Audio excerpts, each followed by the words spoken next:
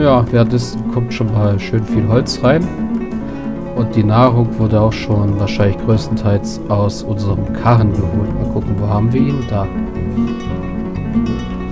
Dann können wir ja mal kurz wieder reingucken. Mit T, View Items. Ja, man sieht, es ist nicht mehr viel hier drin. Es ist hauptsächlich nur noch Cloth und die Bags sind hier drin gelagert. Also das Stoffzeug und halt die Chestnuts. Sogar die Samen wurden bereits hier unten abgelegt. Gut. Gucken wir mal wieder hier runter, wie es so läuft.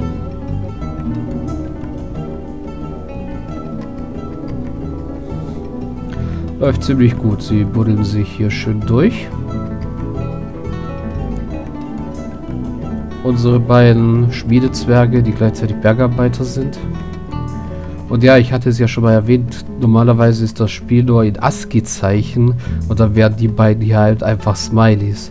Aber durch das Grafikpack sieht man ihnen jetzt durch die Ambosse an, dass es äh, Schmiede sind. So wie man auch jetzt hier bei einem General ansieht, dass er ein Holzfäller ist.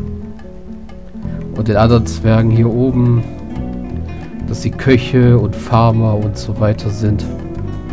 Also die beiden sind Farmer, er ist glaube ich Steinmetz. Und er hier mit dem Buch in der Hand müsste der Anführer sein.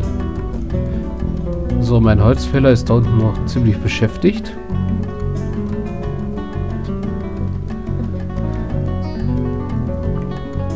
Meine beiden Zwerge hier sind es auch, aber den anderen Zwergen wollen wir mal einen neuen Job geben.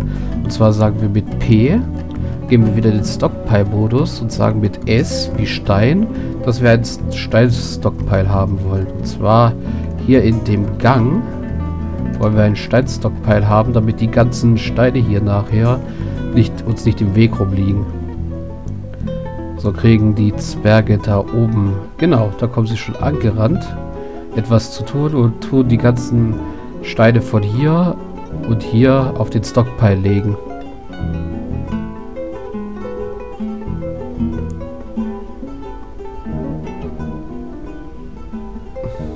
Die sind uns dann nachher nicht mehr im Weg. Bis wir ein anderes Lager, einen anderen Lagerplatz für Steine haben. Ein oder zwei Etagen tiefer dann. So, das kann jetzt eine Weile dauern bis sie den erst, das erste Zimmer hier freigegraben haben. Hm, gucken wir mal, was wir sonst noch so machen können. Also Holz wird abgebaut, Essen ist da. Wir haben schön lebigen Boden. Wir haben hier den Fluss. Und ja, das mit dem Fluss kann ich euch auch mal kurz erklären. Hier sieht man es nämlich schon. Hier stehen überall Siebener. Das bedeutet, hier in dem Bereich, äh, also erstmal schwimmt hier etwas rum in dem Fluss. Was ist das? Karpfen. Hm, lecker. Und das ist ein Selfin Molly, was auch immer das für ein Fisch sein soll. Der schwimmt in einem Murky Pool, also in einem Tümpel. Es gibt nämlich einen Unterschied zwischen Flüssen, Tümpeln und... Ja, das ist auch ein Murky Pool. Also Murky Pools sind einfach nur flache Tümpel. Wenn ich das jetzt richtig sage. Jupp. Es gibt aber auch größere Seen, die sind etwas tiefer dann als nur eine Ebene an Wasser. Man sieht es ja hier. Das hier ist jetzt die Ebene über dem Wasser und das hier ist die Wasserebene. Die hat äh, sieben jetzt hier überall Siebener stehen, das ist nicht nur einfach für den Effekt, sondern das zeigt auch an, wie voll das Wasser da ist. Also hier sieht man, dass sich die Zahlen verändern, weil in der Richtung das Wasser eben abfließt. Hier hingegen fließt das Wasser nirgendwo ab, deswegen bleibt da immer sieben Einheiten Wasser von, von sieben möglichen drin. Hier im Fluss fließt das Wasser natürlich hier über den Kartenrand hinaus und weg. Genauso wie es hier unten eigentlich rankommen sollte. Also das, so, so wird die Flussrichtung bestimmt. Hier fließt das Wasser ab und hier kommt es. Und hier sind jede Menge Fische. Hm. Und hier ist noch irgendetwas. Was ist denn das, was da rumschwimmt? Die Klammer. Das ist ein Brook Lamprey. Also auch irgendein Fisch. Das ist Lachs. Oh, Lachs. Ich mag Lachs. Gut. Gucken wir uns mal an, wie weit unsere Zwerge hier unten schon sind. Oh, die haben schon gut was ausgeräumt hier. Also ja, lasst sie ruhig mal schwere Brocken tragen. Das können unsere Zwerge schon ab. Während unsere Miner schön das Gebiet da freiräumen, damit wir unsere Stockpiles vom Eingang mal verlegen können.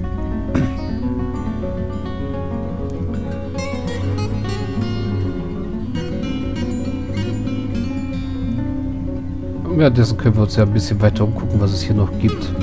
Hier gäbe es eine schöne große Ausbuchtung. Wenn wir hier alle Rampen entfernt hätten und hier den Eingang gegraben hätten, hätten wir hier eine Mauer ziehen können und wären richtig schön geschützt gewesen. Aber das habe ich nicht gemacht. Ich habe uns lieber hier unten eingegraben. Hier ist es doch auch schön. Da verputzt gerade einer einen Fisch. Da auch. Hier sind Bienenstöcke. Bienenzucht, damit habe ich mich noch gar nicht beschäftigt in dem Spiel. Vielleicht wagen wir uns da irgendwann mal ran, wenn es sein muss. Ja, unser Holzfäller fällt immer noch Holz, aber wie man sehen kann, ist das Stockpile voll. Das heißt, das Holz bleibt einfach da liegen, wo es ist. Hier sind Bärenbüsche schon wieder nachgewachsen.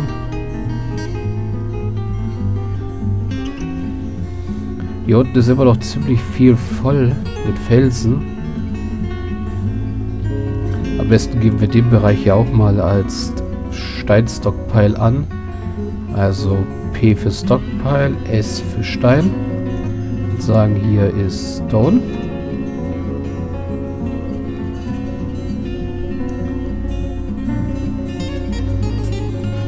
Während sie hier alles frei machen. Also ja, die das, der Anfang ist ein bisschen zäh, bis man mal die, den ersten Raum freigelegt hat. Aber dann dürfte es etwas besser werden. Holz haben wir hier und naja, Holz geht, hält sich in Grenzen.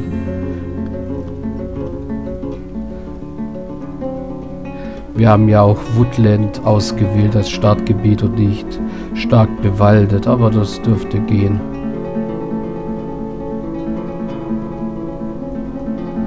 Hauptsache, wir kriegen erstmal genug Holz für Betten und neue Fässer und Kisten vor allem Dingen zusammen. So, hier sieht man schon, alles wird mit Steinen vollgepackt. Das heißt, man muss, sich, muss aufpassen, dass man sich nicht was bricht, wenn man hier in den, Ein in den Bereich rein will. So, eine Ecke ist schon mal frei hier oben. Jetzt müssen noch die anderen Ecken und die Mitte frei gemacht werden.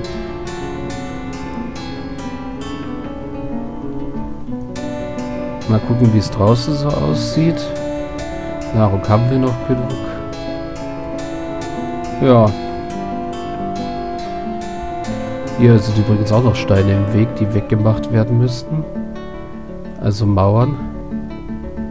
Und hier unten haben wir gerade schon eine Nachricht bekommen, dass einer unserer Schmiede zu einem Miner geworden ist. Man sieht, sein Symbol hat sich geändert, weil er jetzt so gut im Minern ist.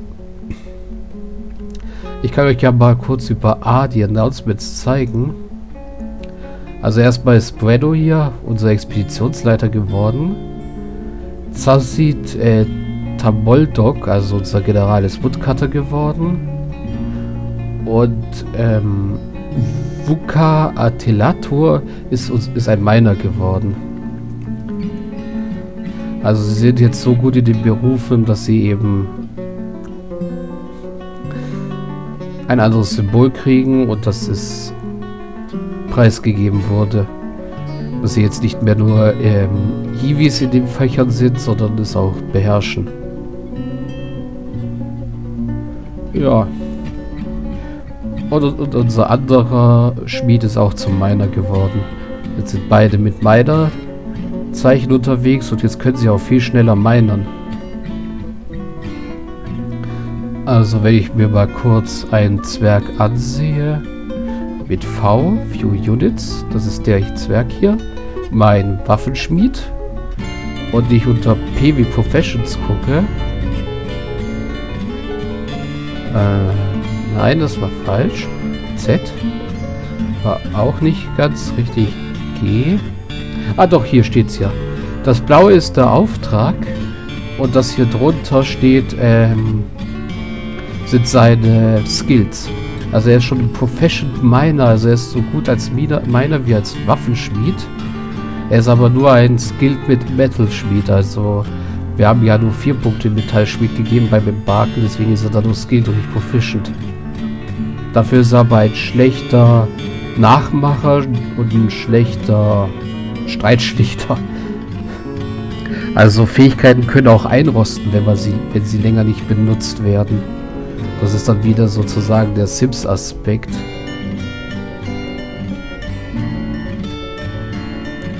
Ja, aber dafür wird jetzt langsam unser Innenraum hier freigeräumt. Auch von Steinen, die im Weg sind. Auch wenn unser Stockpile hier langsam wieder nicht ausreicht. Hier oben sind alle Steine weggeräumt.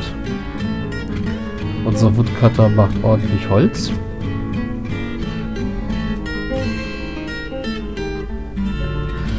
Äh, tun wir mal das Stückchen hier auch noch als Stein.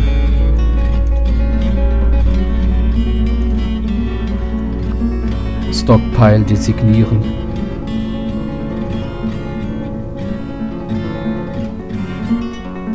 So, der Miner hat einen Pfeil nach unten, einen blauen, das heißt er hat Durst oder Hunger.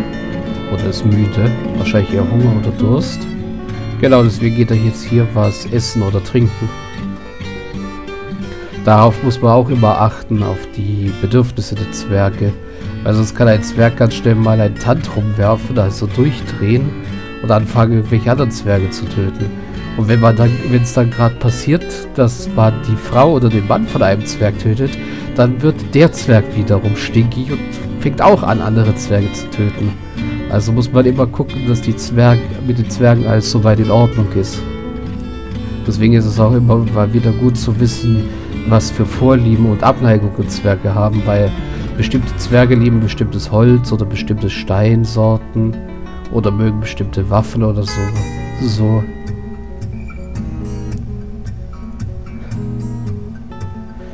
Gut, das nächste, was wir machen, ich zeige euch mal das Bau, äh, Building, ähm, System, also mit B gehen wir ins Baummenü, können wir hier jetzt unsere unsere Gebäude aussuchen, die wir bauen wollen. Und zwar das erste, was wir brauchen, wenn ich es finde. Äh, ein Restraint, also einfach nur eine Kette für einen Hund platzieren wir hier und dann können wir hier auswählen das Material. Hier sehen wir, wie weit es weg ist und die Anzahl, die wir davon haben. Also, am Anfang habe ich ja zwei Pigtail Fiber Ropes mitgenommen und die benutze ich jetzt hier mit V, um zwei Restraints zu bauen. Gut. Jetzt werden sich irgendwelche Zwerge, die nichts zu tun haben, die Seile aus dem Karren schnappen und sie hier festmachen. Jetzt gucken wir mal hier unten rein. Ja, sehr schön. Hier auf der Seite ist schon mal Platz. Also geben wir hier mal mit wieder ins P einen neuen Stockpile, aber diesmal keinen äh, festgelegten, sondern einen Custom Stockpile. Und zwar machen wir den schon mal so äh, so groß. Also von der Ecke einmal Shift, zwei zurück. Einmal Shift, zwei zurück. So, das hier ist unser Stockpile. Und den können wir normalerweise mit Q? Genau. Mit Q können wir in die Gebäude Einstellungen gehen und mit S Change, äh, Change Settings machen. Und zwar können wir jetzt einstellen, was dieser Stockpile alles aufnehmen soll. Essen soll er keins aufnehmen. Er soll auf jeden Fall Furniture, also Möbel aufnehmen. Er soll Munition, Münzen, Barsblocks. Edelsteine, Finished Goods. Also das ist Zeug zum Handeln und auch Rüstung und so weiter soll er aufnehmen. Leder und Stoffe, Holz nicht. Waffen und Armor, das soll er erstmal aufnehmen, unser Stockpile.